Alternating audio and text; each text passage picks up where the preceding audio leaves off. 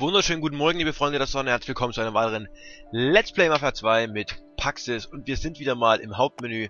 Ich dachte, wir schauen uns mal die neuen Sammelobjekte an, die wir freigeschalten haben. Also, ja, Playboy, die haben wir ja alle live im Spiel gesehen. Brauchen wir uns nicht nochmal anschauen. Außer vielleicht die Frau mit den ganz dicken Brüsten. okay, genug. Genug. Ja, die Steckbriefe, keinen einzigen habe ich gefunden bisher. Ich weiß nicht, wo die versteckt sind. Aber warum ist das denn hier noch? Hä? Hä, hä, hä? Moment. Ich glaube, Konzeptgrafiken gibt's neue, genau. Das hier ist neu. Hm, hübsches Bild, gefällt mir. Und das gefällt mir auch. Ja, das waren, glaube ich, die beiden neuen Bilder, genau. Poster, Ah, okay, Poster haben wir noch gar nicht angeschaut. Mafia 2, Vito Scaletta, Mike Pruski, Carlos Lopez. Auch nicht schlecht. Sieht aus wie, ähm, ja, Mafia 2, sieht aus wie so ein altes Filmplakat. Das war, denke ich, auch mal das Ziel. Sieht auch hübsch aus. Mafia 2, auch wieder wie so ein Filmplakat, sieht auch hübsch aus. Das auch. Eigentlich sehen die alle gut aus, die Poster. Die hätte ich gerne als echte Poster. Hallo, das ist natürlich auch ein sehr schönes. Und das hat man schon. Pin-Ups. Ach, das sind die Dinger, die an der Wand hängen, okay.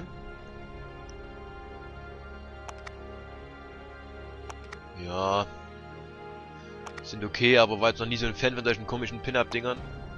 Auch geil, oder? Die sitzt im Knast, hat aber Strafzahlen.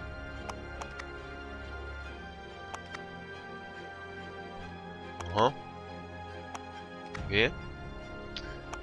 Aha. Okay. Gut. Dann würde ich sagen, zurück zum Spiel. Der erste Gouverneur der Stadt, Sir John Ste... Ja. Warner Leo. Ach, jetzt geht das wieder los, ey, wie es auf den Sack geht.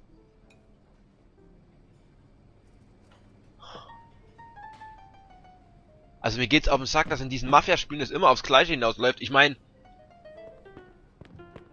irgendwann im Spiel, man ist halt ganz gut dabei, man ist in der Familie drin, man wird gemocht, es gibt keinen Grund, warum man umgebracht werden sollte. Dann soll aber irgendjemand umgebracht werden, den man irgendwie mag und schon man, kommt man damit nicht mehr klar.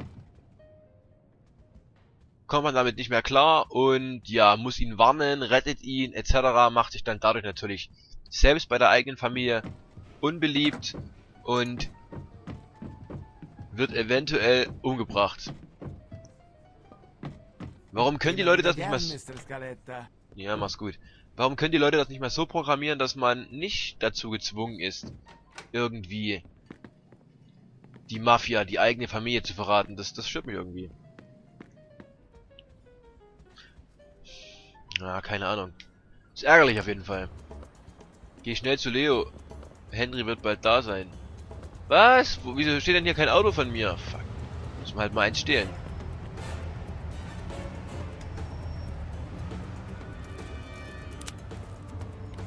Es hat auch noch ziemlich viele Bolzen, die wir knacken müssen, aber egal. Na komm, na komm, na komm. Vielleicht hätten wir einfach die Scheibe einschlagen sollen. Das haben wir erstens noch nie gemacht. Und zweitens... Oh, das Auto ist relativ fix, das ist gut. Auch wenn es mir optisch nicht so gut gefällt, aber es fährt relativ schnell. Ähm, ja, wir hätten einfach die Scheibe einschlagen sollen, hätte man natürlich Zeit gespart, wäre vielleicht schlauer gewesen, keine Ahnung. Ich weiß auch nicht genau, wie weit das weg ist. Oh, die Polizei hat es nicht interessiert, dass ich zu schnell gefahren bin. Was ist denn da los?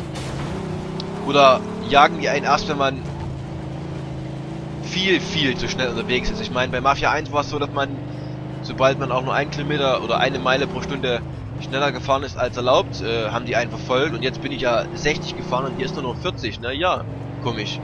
Verstehe ich nicht. Oder es ist in der Mission so, dass man hier nicht von der Polizei verfolgt wird, ich weiß es nicht.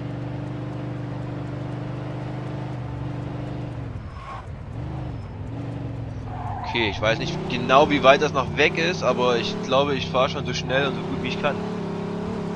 Das Auto ist echt verdammt schnell. Krass. Also gerade die Beschleunigung kommt mir irgendwie pervers schnell vor. Kommt mir sogar besser vor als äh, bei meinem privaten neuen Paxis Mobil, bei dem Cabrio, was ja eigentlich sportlicher sein sollte. Also wenn ich das Auto hier pimpe und tune, wenn sich das auch dreimal tunen lässt, dann sollte das eigentlich schneller sein als mein Cabrio.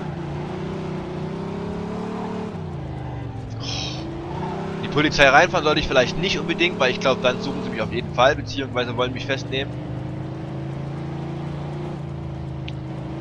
Bin hier komplett im Geschwindigkeitsrausch.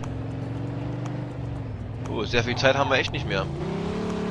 Ah, wunderbar, auch wieder sonst wo, verdammt. Das schaffen wir nicht, oder?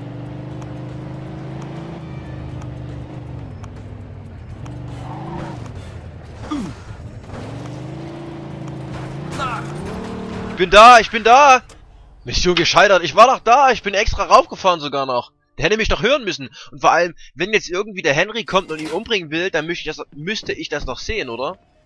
Naja, gut, diesmal, dieses Mal, ähm, machen wir einfach die Scheibe kaputt. Oh nein, ich glaube, das ist ein langsameres Auto.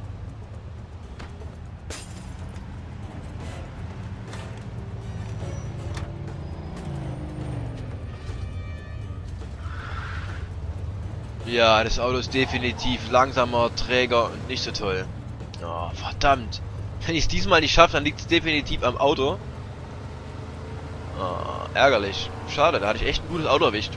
Beim ersten Versuch. Aber diesmal bin ich natürlich deutlich zeitiger losgekommen. Vielleicht reicht das ja. Ich kann wie gesagt auch nicht auf die Polizei achten. Das schaffe ich sonst einfach nicht. Von der Zeit her. Warum muss ich denn ja so rasen? Ich meine, vor fünf Minuten hat Henry den Auftrag bekommen, dass er ihn umbringen soll. So. Und dann hat er noch die Info bekommen, dass er ja jemanden mitnehmen könnte. Will heißen, der wird er jetzt nicht innerhalb von fünf Minuten und vor allem schneller als ich dort sein. Er wird ja nicht einfach blind hinlaufen und ihn erschießen wollen, oder? Sondern vielleicht schon sich einen kleinen Plan machen oder so. Okay, die Endgeschwindigkeit von dem Auto ist auch nicht schlecht, aber Beschleunigung ist halt meiner Meinung nach schlechter und Kurvenlage auch nicht gerade die geilste.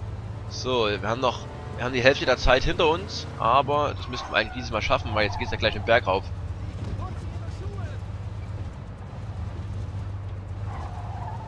So, ja, müssten wir, also rein schätzungsweise würde ich sagen, schaffen wir das. Wobei, jetzt einen Berg rauf verlieren wir natürlich mit dem Auto nochmal viel mehr Zeit. Weil es eben nicht so eine gute Beschleunigung hat. Wahrscheinlich ist es einfach zu schwer, da hat zu wenig PS fürs Gewicht, irgendwie sowas. Weil die Endgeschwindigkeit schien mir auch okay. Aber, oh, es wird wieder knapp, oder? Oh. ich würde sagen, wir schaffen es, aber es wird super knapp. Also super knapp vielleicht nicht, aber knapp wird auf jeden Fall. Ich meine, ich fahre wie eine 1. Guckt euch an, was ich für Fahrskills zeige.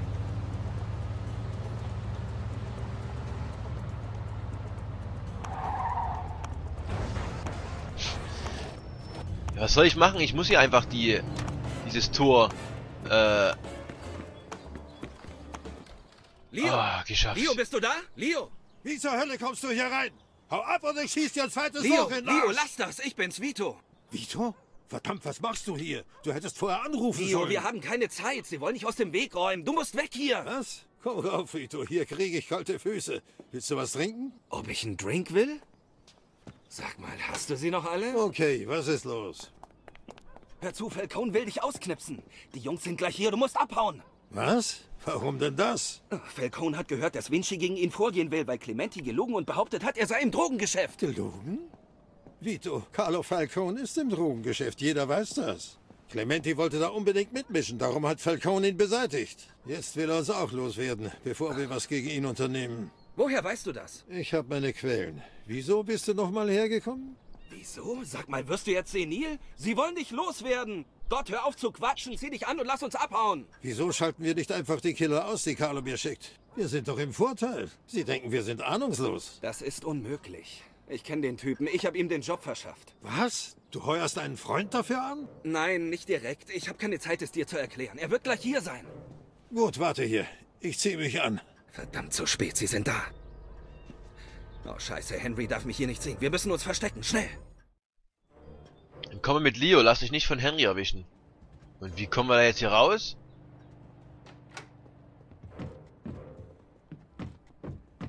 Verdammt. Ich dachte, ich komme hier aus dem Fenster raus. Sieht nicht so aus. Vielleicht passen wir hier rein. Bist du irre? Ich soll mit dir da rein? Ich bin keine Schwuchtel. Ich sperre mich nicht mit einem anderen Kerl in den Schrank rein mit dir, ein. Leo, los jetzt! Hey, geh mir von der Pelle. Rück mal ein Stück. Nein, rück doch zu. Schnauze.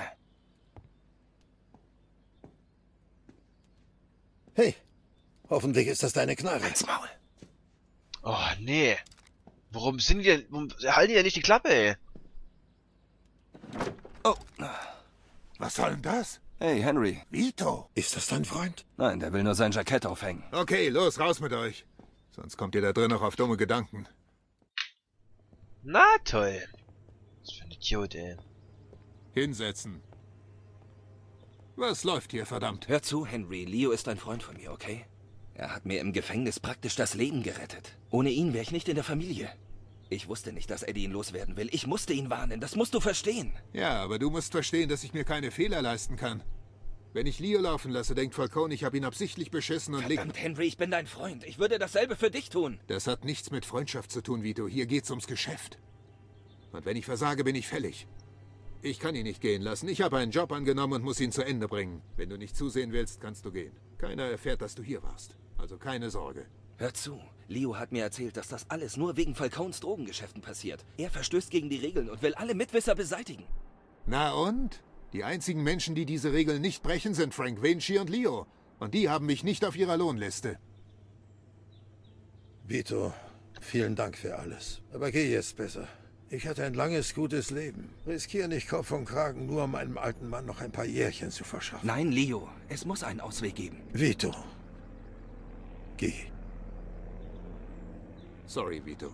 Keiner erfährt, dass du hier warst. Pass auf, dass du nicht gesehen wirst.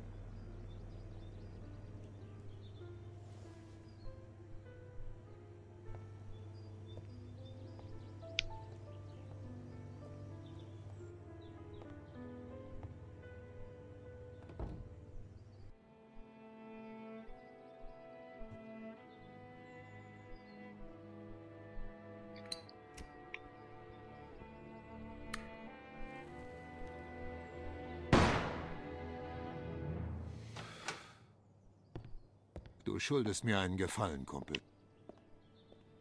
Was? Na, Kleiner, Leo? willst du einen Drink? Was ist passiert? Dein Freund und ich haben uns geeinigt. Ich werde abtauchen. Mich hält nichts mehr in dieser Stadt, seit meine Frau gestorben ist. Ich wollte mich ohnehin in einer wärmeren Gegend niederlassen. Tja, haben, hauen wir ab, bevor dein Freund es sich noch anders überlegt. Das haben die sich also überlegt. Also innerhalb von 5 Sekunden. Länger hat er nicht gedauert. Verdammt, ich würde gerne hier noch ein bisschen rumsuchen, ob es hier irgendwo ein Playboy-Magazin gibt. Hier muss es auf Garantie eins geben.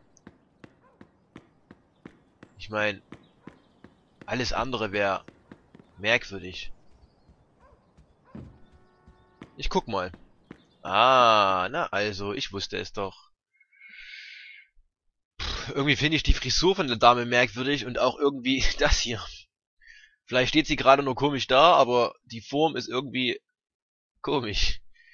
Okay. Aber vielleicht haben wir ja sogar Glück und finden noch mehr Magazine. Ich meine, das Haus ist riesengroß. Und ich weiß, dass es noch viele Magazine gibt und das Spiel wird ja wohl nicht ewig lang sein. Ja, ich habe schon tausendmal gesagt, dass das Spiel nicht lang ist und dauernd geht's weiter, aber okay. Bei dem Let's Play kommt einem sowieso jedes Spiel länger vor, weil man halt kürzere Abschnitte spielt. Wenn man privat spielt, spielt man auch direkt mal zwei Stunden oder drei oder vier.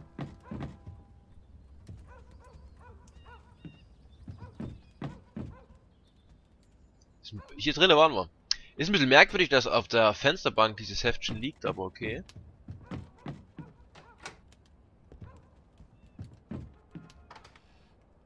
Wir können sogar die Kleiderschränke aufmachen, ist ja nice. Ah, ich wusste doch, dass es hier mehr als ein Playboy-Magazin gibt. Ja, Hintern ist okay, aber insgesamt eher langweiliges Bild. Das ist das erste Mal, dass wir so kurz nacheinander zwei gefunden haben. Aber vielleicht finden wir sogar noch ein drittes.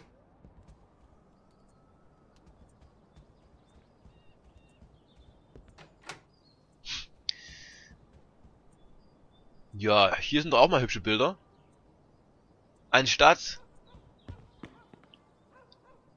Jetzt sind wir einmal rum, ne? Anstatt mit Leo einfach abzuhauen, nehme ich mir halt mal die Zeit. Und durchsuche alles. Okay, die Türen gehen alle nicht auf. Ich denke, mehr als zwei werden wir auch nicht finden. Vielleicht noch eins im Garten. Sieht nicht so aus. Na gut. Wir sagen, wir nehmen das Auto, oder? Wobei es wäre natürlich logischer, nicht mit Cabrio Okay, zu fahren, Würdest du mich jetzt zum Bahnhof damit die uns nicht sehen. Diese Stadt war immer gut zu mir, aber jetzt heißt es Abschied nehmen. Willst du etwa im Schlafanzug los? Worauf du einen lassen kannst. Ich bin lieber lebendig im Pyjama als tot im Smoking. Wirst du Frank erzählen, was passiert ist? Aber natürlich, keine Sorge. Ich werde deinen Namen nicht erwähnen. Du hast schon genug Sorgen. Danke, Leo. Die ganze Sache ist urplötzlich kompliziert geworden. Verstehst du? Natürlich, Victor. Was hast du erwartet? Du fährst in Alt, ziehst deinen schicken Anzug an und dann ist alles eine große Party? Carlo war schon immer ein verlogener Hurensohn. Sogar für jemanden aus der Branche. Ich habe Frank schon vor Jahren vor ihm gewarnt. Und was machst du jetzt? Ich verschwinde und lasse den Dingen ihren Lauf. Ich nehme den ersten Zug nach Lasthaven. Ich rufe ein paar Leute an und kläre meine Angelegenheiten. Dann fahre ich zum Flughafen und fliege irgendwo hin, wo es warm ist. Morgen um diese Zeit liege ich irgendwo am Strand und trinke einen von diesen Fruchtdrinks mit einem Scherbchen drin. Eins ist klar, wenn Carlo mich tot sehen will, dann sollte ich nicht hierbleiben. Das wäre eine Einbahnstraße ins Leichenschauhaus. Ist das nicht übertrieben? Nein, ich wollte mich sowieso zur Ruhe setzen. Wenn du in meinem Alter bist, erscheinen all diese Auseinandersetzungen irgendwann sinnlos. Frank wird sich nie ändern. Er ist ein Streithammel. Heutzutage hört er nur noch auf die jungen Hitzköpfe, weil sie ihm sagen, was er hören will. Wenn er hinter Carlo her ist, kann er das auch ohne mich. Es tut mir leid, dass ich dich in diesen Schlamassel mit hineingezogen habe. Okay, hier ist es. Danke für alles, Vito. Versprich mir einfach, dass du nie wieder etwas so Dummes machst wie heute. Deinen Hals zu riskieren, nur damit ein alter Mann noch ein paar Jahre mehr hat. Versprochen, das nächste Mal sehe ich zu, wie sie dich abknallen. Hab noch ein schönes Leben, alter Mann. Ist das eigentlich das gleiche Auto, was ich schon habe? Nee, oder? Ist zwar auch ein Cabrio, aber ist ein anderes, oder? Ich bin mir jetzt gerade nicht ganz sicher, aber ich würde sagen, das hier ist ein schnelleres, wendigeres, cooleres. Also wird das das neue Praxis Mobil, falls ich mich nicht irre. Ach so, was soll ich jetzt machen? Geh nach Hause, okay. Ja, dann gehen wir mal nach Hause. Da liegt irgendwo eine Werkstatt auf dem Weg. Nein, nicht wirklich. Und einen riesen Umweg möchte ich auch nicht fahren. Im Gegenteil, ich bin ganz froh, dass mal nicht so weit weg ist. So, keine Schlängellinien fahren.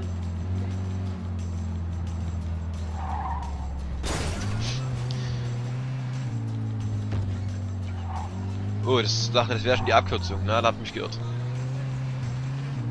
Hier war die Abkürzung. Ja, ich bin wahnsinnig. Ach so, wir können mal so eine Telefonzelle kaputt fahren. Wie wir es in Mafia 1 mal gemacht haben. Aber irgendwie hat es Mafia 1 mehr Spaß gemacht. Dafür macht Mafia 2 generell mehr Spaß. Sorry. Ich glaube, er hat einen Unfall gebaut. Zum Glück gibt es hier nicht solche Verrückten wie bei GTA, die einen stundenlang hinterherfahren und versuchen, einen kaputt zu machen. Diese Freaks. Hallo, das ist meine Einfahrt. So, jetzt können wir mal nachgucken. Das ist das Auto, das wir gerade eben gehabt haben. Wir reparieren es erstmal. Hat eine Leistung normal von 98 kW. Und jetzt gucken wir mal, wie viel das Praxis Mobil hat. Leistung normal 112. Schubert Frig Frigate. Ascot Bailey. Erreichte Geschwindigkeit 117. 82. Leistung tatsächlich 161. 98. Also ist das andere besser, weil das hat ja normal schon 112.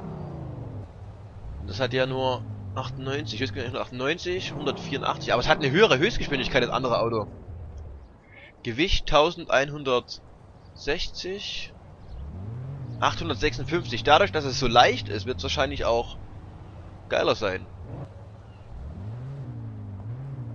Hm. Ich denke, ich werde trotzdem dann zu dem hier. Das, das schien mir irgendwie angenehmer zu fahren sein. Also das schien mir angenehmer zu fahren zu sein. Ach, keine Ahnung. Ihr wisst schon, was ich meine. Nee, ich will hier wieder raus. Ich will hier wieder raus. Gut. Franny, was machst du denn hier? Vito, was soll ich nur tun? Ich kann nicht nach Hause. Ich will ihn nie wiedersehen. Was ist passiert? Wen denn? Eric, Dein Mann? Wieso? er trinkt, feiert dauernd wilde Partys und er... Schlägt er dich? Nein, aber er hat eine andere irgendwo, ich weiß es. Ob er dich schlägt? Manchmal. Diesen Dreckskerl poliere ich die Fresse. Nein, Vito, bitte tu ihm nichts. Ich dachte, du könntest mit ihm reden. Auf dich wird er hören. Wo ist er? Ich weiß nicht. Er hat einen Freund in, in der River Street. Okay, Normalerweise okay, Kopf ist er Alles dort. wird gut. Hör mir zu. Wenn es dir besser geht, gehst du nach Hause. Ich rede mit Eric. Wenn er sich nicht heute noch bei dir entschuldigt, ruf mich an. Aber der kommt. Gut, Vito, aber bitte tu ihm nichts, bitte. Keine Sorge, ich pack ihn schon nicht so hart an. Der wird mal schön aufgemischt vom Kollege Paxis, verdammt. Und du scher dich rein, es regnet, willst du nass werden oder was? Du kannst dich drinnen hinlegen. Nicht oder was? Suche im Apartment an der River Street nach Eric. Gut, aber das seht ihr logischerweise erst morgen. Tschö, tschö.